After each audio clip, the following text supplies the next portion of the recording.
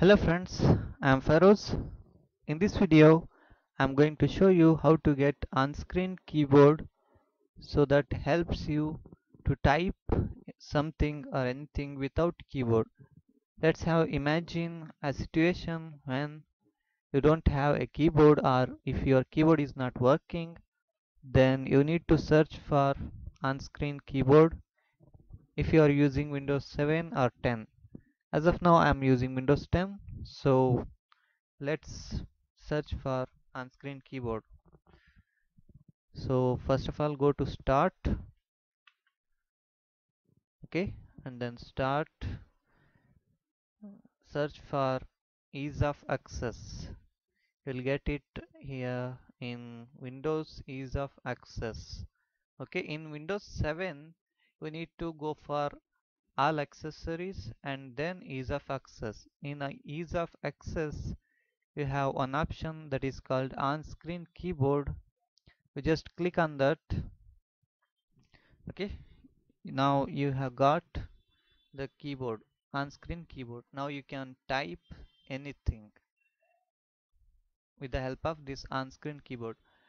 In this video the second part will be there.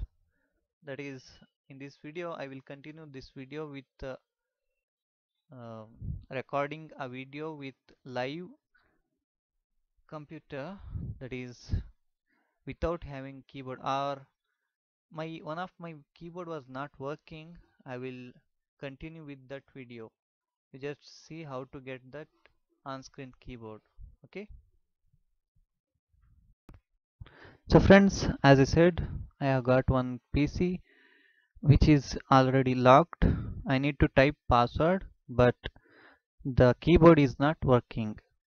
So now you can see that keyboard is getting power and but it's not working. So let's try out typing here. Okay now you can see I'm trying to type but it's not working it's not typing there okay? So now let's do something else. Now you can see I'm using mouse okay? So here you have an option. So click on that. That is ease of access here you have an option called type without the keyboard. You just select that and apply. After pressing apply you have got keyboard on-screen keyboard. Now you can type. Let me try out. Okay. Now I'm trying to type here. Now you can see that it's typing here so with this with the help of this on-screen keyboard I am able to unlock my PC so also we can use this on-screen keyboard to type anything if it is required. So guys if you like this video please do like and share.